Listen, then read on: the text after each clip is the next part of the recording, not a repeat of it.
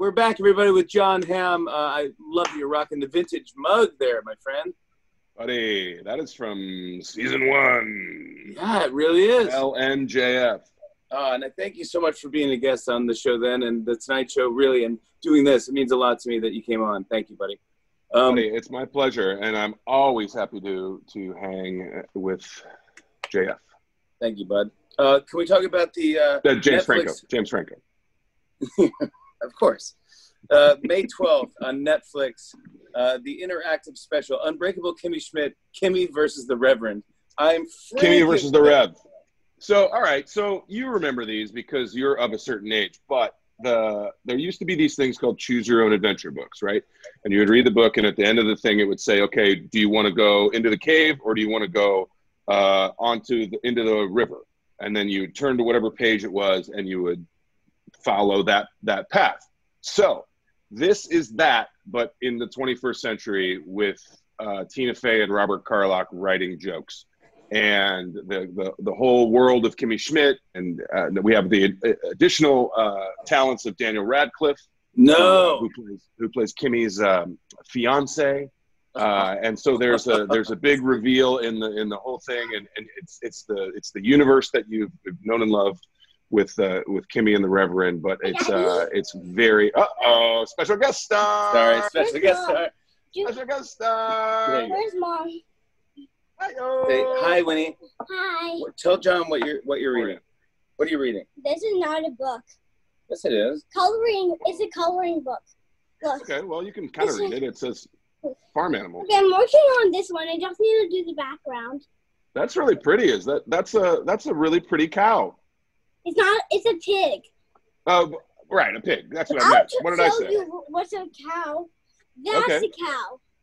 Uh, that's a lamb. No. Wait, show me. Is there a duck? Let's see. Is there a duck in there? What about a chicken? I'm gonna see if there's a duck. Duck or chicken? Anything with a beak. That's a couple of chickens right there. If I've ever seen a chicken, Just a couple chicken. of chickens. All right, bye, chicken. Thank I'll you see you later, much. chicken. I'm not a chicken. I got a uh, chicken. She's not a chicken. Uh, oh. it, it, took uh, homeschooling just for her to figure that out. hey, that's a that's a that's trending positive. That's a yeah. We were we were nervous for a while. We go, oh, maybe she like, might be am a I chicken. a chicken? It's one of those. You know, it was it was a hypnotist at like a county fair. For sure, that'll then, do it. But maybe you get one of those really talented chickens that's like good at tic tac toe or math or something. So you never know. Do you know that? I mean, dude, I heard rumors of that chicken in New York City. Oh, yeah. You know him. Uh, well, you know who I, I learned stories like that about was from Hal. Like he knew all of those weird like New York flea circuses and he really did chickens and I mean he was such he was so New York Hal Willner wasn't he? It was the, that's what I mean. There's never there's you know it's a it's there's there's there's only a few dedicated weirdos left yeah. in the world and he was hundred percent one of them. I love yeah um, the, yeah I think he might have told me about that either him or Zog told me about the tic tac toe playing chicken. Yeah, I mean it was that was like what that was what like Times Square was back in the old days. Like it was, you would you go would, there for like peep shows and like freak shows. But you would gamble against the chicken or no? Yeah, you would bet against the chicken and you would always lose. Or unless you were an idiot because you oh, can't funny. lose tic tac toe yeah. unless you're terrible. Uh, hey, Jon, uh, we ask everyone that comes on the show if they have a charity that they uh, want to highlight or spotlight and, or work with or just want to talk about, and you chose one that I think is just fantastic, stjude.org. Um, man, oh man, uh, what, what's your connection with St. Jude? Um, I've I've been I've probably been working with St. Jude for better part of two decades. Um, I've uh, my I have an uncle that lives out here who married my mom's sister, and his best friend was a guy named Tony Thomas, who is Marlo Thomas's uh, little brother and who is Danny Thomas's son. And Danny Thomas started a long, long time ago uh, an organization called St. Jude Children's Research Hospital that basically made sure that any kid that was sick could get uh, care free of charge.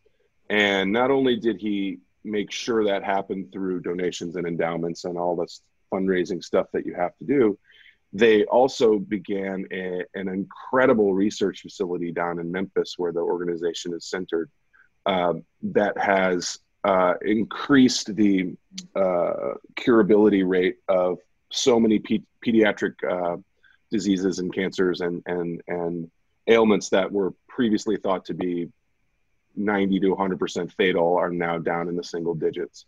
So the, they've done an amazing job at not only helping the, the, the kids, obviously, uh, get better, but also uh, providing the, the, the framework for the emotional support of the families.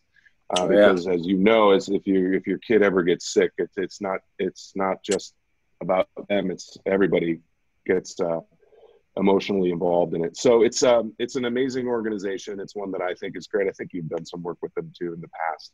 Sure. Um, and they they they do it all for free. I mean, that's the other great part of it is that uh, nobody's making money off of it, and they're they're fully sharing all of their research um, with uh, organizations around the world, and they're considered one of the preeminent ones. So they, they have a big event coming up um, on Tuesday where they're they're doing a uh, a, a, global streaming situation. Um, oh, great! I'm sure. I'm sure we can throw a link up on there if, if uh, in, absolutely in, done. But, um, absolutely. So uh, yeah, so that's it, and and it's uh, it's always been something I've I've, I've been uh, I've been a big uh, believer in, and uh, I hope uh, I hope people people get the word out and and donate anything you guys can give, anything, even if it's a dollar, it means a lot. It goes a long way. So uh, it goes a long way. stjude.org. And I want to thank you, Jon Hamm, for coming on the show, for just being you. And I just miss you, and I can't wait to see you in person, buddy. I really do. That I have this hugs can't go away, right?